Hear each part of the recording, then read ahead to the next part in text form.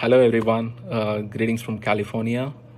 Uh, firstly, I would like to take this opportunity to express my gratitude and uh, thank all the instructors, coaches, uh, and all the fellow learners of the DPhi community for this wonderful initiative during this unprecedented times.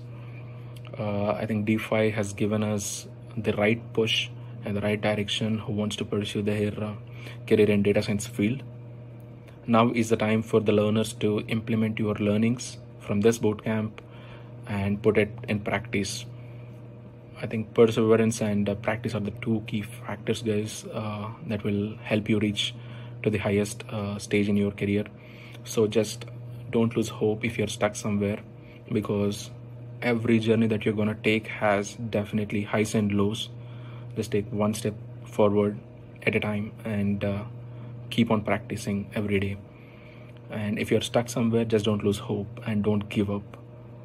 There is a wonderful community out there to help you in each and every phase wherever you're stuck. And um, I think this data science bootcamp uh, has given a ray of hope uh, to most of the fellow learners out there uh, who really want to get their hands dirty playing with data.